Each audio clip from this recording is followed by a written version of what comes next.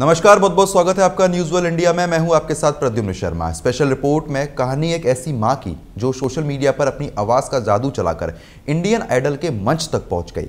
लेकिन बेटे की ममता के आगे वो मायूस हो गई। मुजफ्फरनगर की रहने वाली फरमानी ने ममता के साहब ने अपने सपनों को तरजीह नहीं दी। बेटे का ऑपरेशन कराने के लिए फरमानी ने इंडियन आइडल का मंच छोड़ दिया। शो को बीच में छोड़कर लौटी फरमानी अब अपने बेटे के ऑपरेशन के बाद काफ़ी खुश है। माँ की ममता झंझोड़ देने वाली ये खास रिपोर्ट देखिए। रब से भी ज़्यादा तुझे चाहा रब से भी ज़्यादा।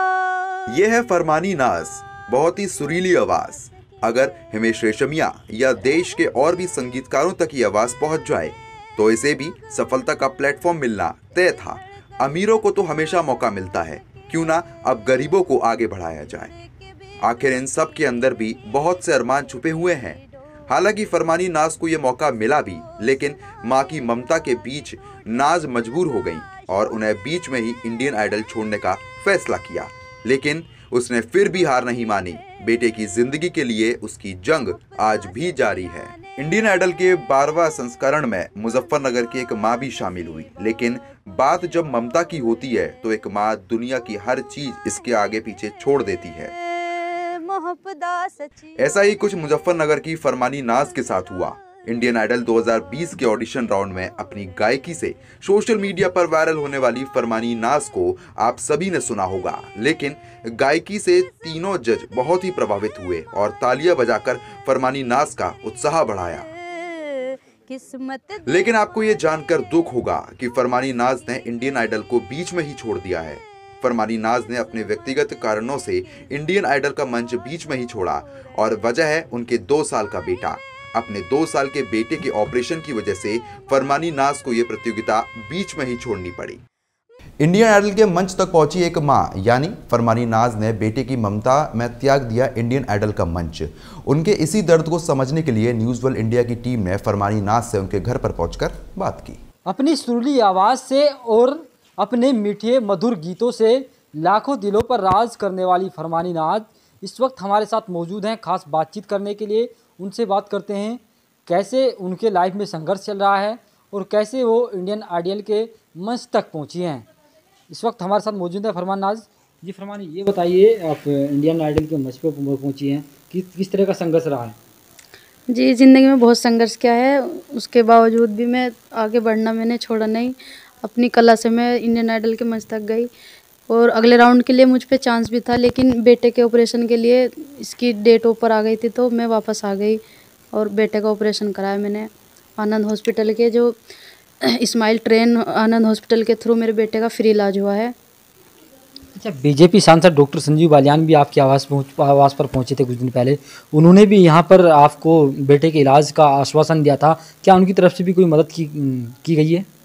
जी, उनकी तरफ़ से पूरी मदद थी, पर आनंद हॉस्पिटल से भी जो उनके इस्माइल ट्रेन जो है, उन्होंने फ़ोन किया था मुझे बच्चे के लिए तो मैंने फिर उनको बोल दिया था मंत्री जी साहब को कि आनंद हॉस्पिटल से फ़ोन आया है, मैं वहाँ कराना चाहती हूँ बेटे का ऑपरेशन।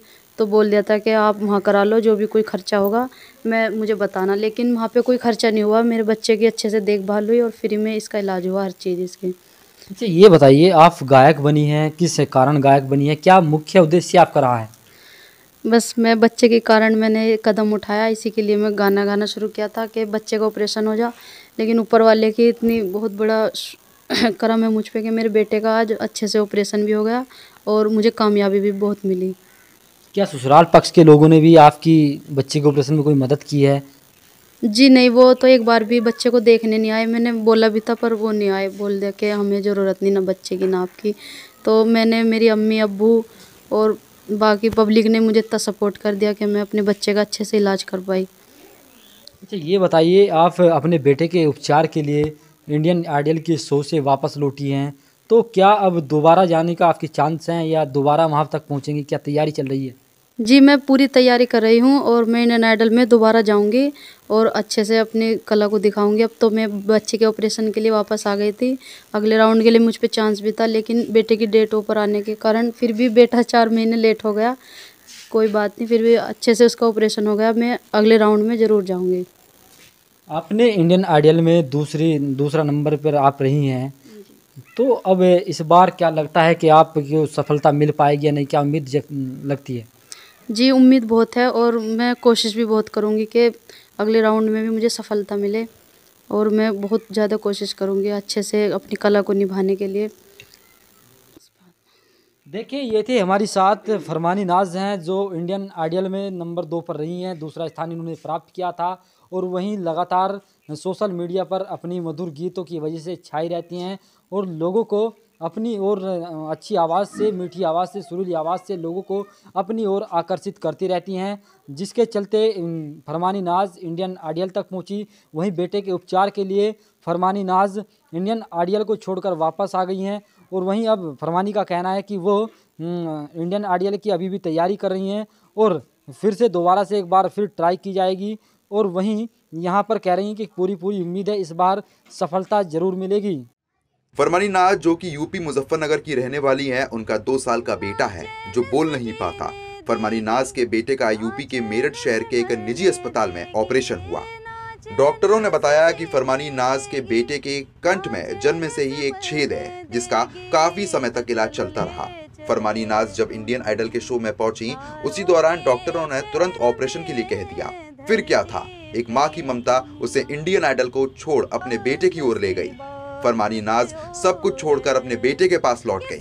दरअसल जब इंडियन आइडल 2020 शुरू हुआ तो उसमें देश के कई हिस्सों से आए हुए एक से बढ़कर एक प्रतिभागी अपनी गायकी का लोहा मनवा रहे थे। तो फरमानी नाज ने भी उस वक्त अपनी आवाज़ का लोहा दुनिया को मनवाया, लेकिन बदकिस्मत से उन्हें इंडियन आइडल का ये मंच बीच में ही छोड़ना पड़ा।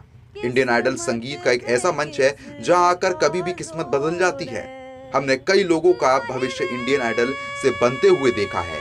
आज वे अपने जीवन में बहुत ऊंचाई पर हैं, इसलिए ऐसे मंच पर आने का मौका कोई छोड़ना नहीं चाहता। लेकिन मुजफ्फरनगर की फरमानी नाज ने ममता के सामने अपने सपनों को तरजीह नहीं दी। स्पेशल रिपोर्ट में बस इतना ही। आपको हमारी रिपोर्ट कैसी लगी, हमें कमेंट बॉक्स में ज़रूर लिखें वीडियो को शेयर करें और हमारे चैनल को सब्सक्राइब करना ना भूलें। नमस्कार।